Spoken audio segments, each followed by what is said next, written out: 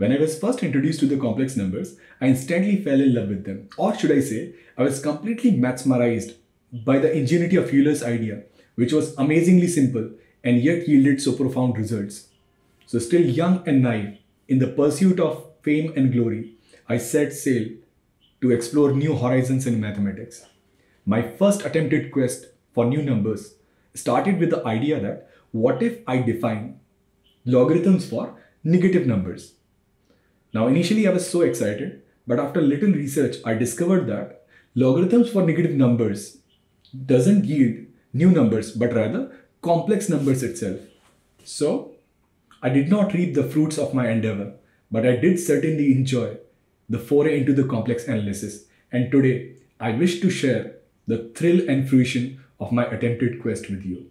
In this video, we'll explore how to find logarithms for negative numbers and in general, how to find logarithms for complex numbers. Now, my basic assumption is you know a little bit about complex numbers. So now having studied basics of complex number, we'll find out how to find log of a complex number. Now, if we have to find logarithm of a complex number, then the first thing that we need to do is we need to express complex number which is in the form x plus iota y in Euler's form. And for that, we have to find its modulus and there'll be under root of x square plus y square. And we'll also have to find its argument, which is theta, and that is tan inverse of y by x. So then I can express this number as r into e to the power iota theta. Now there is one more thing about this logarithm function in complex number. So in real numbers or in real functions, so we have generally single valued functions. That is for one value of x, there will be only one value of y. But in complex number, this logarithmic function, it's a multi-valued function. So for one value of z, we'll have many values of fz. So what we'll actually do is, rather than writing this complex number z as r into e to the power iota theta, we'll write z as r into e to the power iota 2n pi plus theta where n belongs to set of integers. So if we write z as r into e to the power iota 2n pi plus theta, I can write this function fz as log r into e to the power i n 2n pi plus theta. Now log m into n, it is log m plus log n. So I'll simply write it as log r and then log e to the power iota 2n pi plus theta. Now another property of logarithms, so this power will come out, so I can write it as log r to the base e and then iota 2n pi plus theta and then into log e base e. Now same base, same number, logarithm is 1. So I can say the value of log z simply will be log r and then iota 2n pi plus theta where n belongs to set of integers. So this is how we can find logarithms for complex numbers. Now we'll find logarithms for negative real numbers. Now here x is greater than 0, minus x it'll be negative. So I'll draw an Argand plane and I'll represent minus x.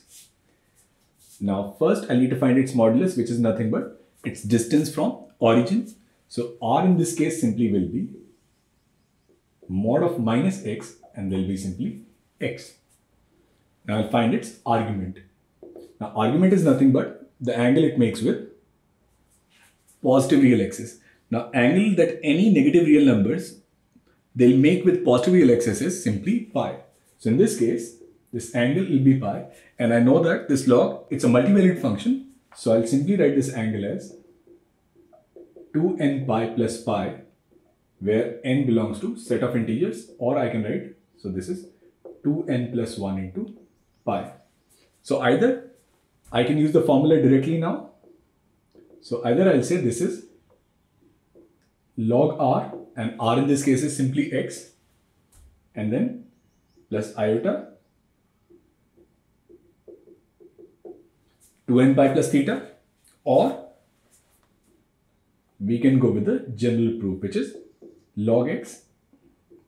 I can write minus x as r into e to the power iota theta. So I'll write x into e to the power iota 2n plus 1 into pi. Now log m plus log n. So there'll be log x log e to the power iota 2n plus 1 into pi. So I'll take this power out. So this is log x and then iota 2n plus 1 into pi. So again, we'll get the same result, which is log of minus x will be log x minus iota 2n plus 1 into pi. Now say for example, I have to find the log of minus 1.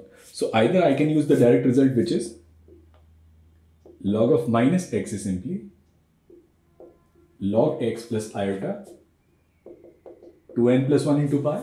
Now in this case, the value of x is 1. So I'll write log of minus 1 as log 1 and then iota will be 2n plus 1 into pi. Now we know that log 1 is 0. So I can simply say